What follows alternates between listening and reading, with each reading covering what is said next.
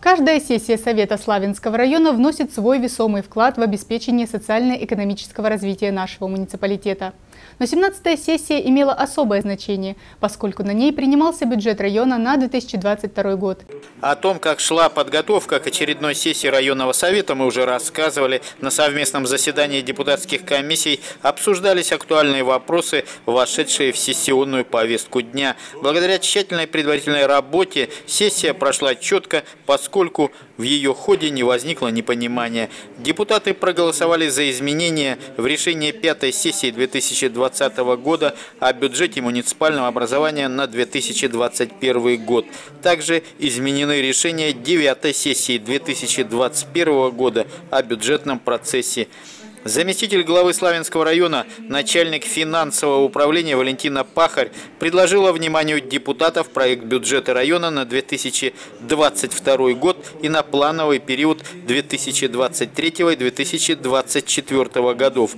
Общий объем расходов бюджета на будущий год 3 миллиарда 381 миллион 688 тысяч 800 рублей. Бюджет сформирован со значительным профицитом свыше 7 миллионов 700 тысяч рублей. В структуре расходов бюджета на 2022 год бюджетные ассигнования на социально-культурную сферу составляют 86,8% или 2 миллиарда 937 миллионов 594,1 тысяч рублей, из которых на образование будет направлено 74% бюджетных средств, что составляет 2 миллиарда 515 миллионов рублей. На физическую культуру и спорт 7,6%, 257,6 миллионов рублей на социальную политику 4%, 121,4 миллиона рублей.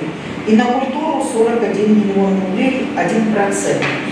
Председатель комиссии по вопросам экономики, финансово-бюджетной и налоговой политики Совета Славянского района Сергей Мороз сказал, что депутаты проанализировали все данные, обсудили детали и данный бюджет отвечает современным требованиям и потребностям жителей муниципалитета. Прошло живое обсуждение бюджета с участием э, представителей управлений и отдела администрации.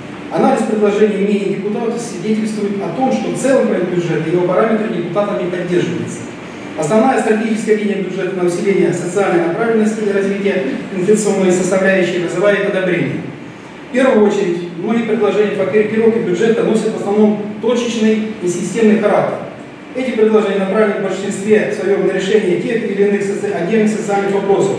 Расход э, на социальную сферу сравнении с аналогичным прошлым годом в пределах 5-6% роста.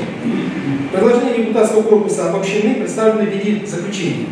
Депутаты одобрили в целом бюджет на будущий год. Он получился сбалансированный и социально ориентированный, обеспечивающий устойчивое развитие Славянского района. Кроме того, на 17-й сессии Совета района были приняты решения и по другим вопросам. Всего их было более 25 внесенным в повестку дня. Андрей Вишневский, Георгий Калинин. Программа «События».